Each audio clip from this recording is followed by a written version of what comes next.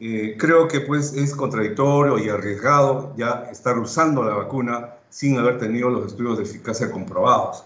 Por lo que yo me atrevo acá, señor presidente, a través suyo, decir pues que se suspendan esta aplicación de vacunas de Sinopharm hasta que no se haya concluido los estudios y que el gobierno